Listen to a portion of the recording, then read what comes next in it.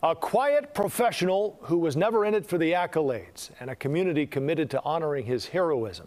On this Memorial Day, our Jackie Kostek shares the story of Robert Miller. This Wheaton native was posthumously awarded the Medal of Honor in 2010, and people who knew and loved him will never stop telling his story. Robert James Miller had just started his senior year at Wheaton North High School when the planes hit the towers. Seven years later, he died an American hero on a battlefield in Afghanistan. He was 24 years old. One of his teammates surely spoke for all of them when he said of Rob, I would not be alive today if not for his ultimate sacrifice. In 2010, Miller was awarded the nation's highest Medal of Valor, the Medal of Honor. The heroics of that night detailed in a five page citation.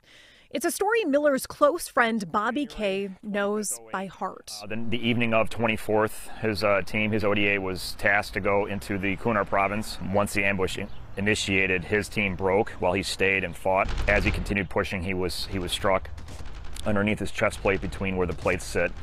Uh, and continue to fight. Where does your like heart go when you tell that story?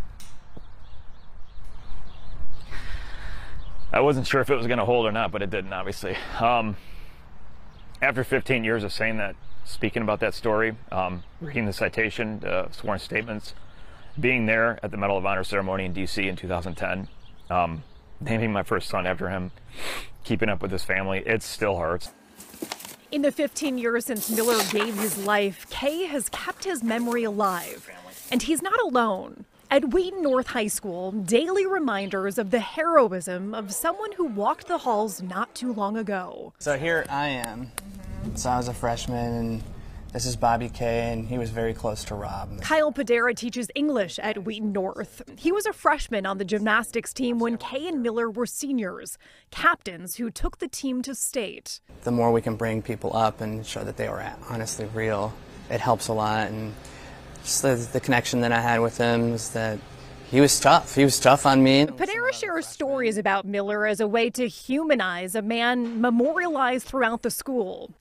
Now, the head gymnastics coach, Greg Gebhardt, was then an assistant. And gymnastics is hard. I mean, Rob started when he was a freshman. He was a he was a state finalist, and that doesn't happen without a lot of work and dedication. And I think just that story transcends not necessarily, you know, what he what he did in combat, which was tremendously heroic, but just, you know, the ideals that he had. Remembered and honored as the human he was on this Memorial Day and every day. I just can't understand still to this day. It's hard, but it's still it still makes you understand that you're you're free, that you're available, that you're you're walking around in free country because of guys like him. You really are. It's not cliche at all. In Wheaton, Jackie Kostek, CBS 2 News.